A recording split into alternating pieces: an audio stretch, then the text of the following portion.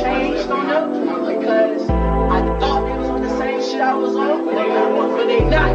Or they was on some shit that I wanted to be on, and when I got on that shit, I got on it and surpassed them, and they was just lost in the sauce. I'm like, damn. I had to follow off just a game.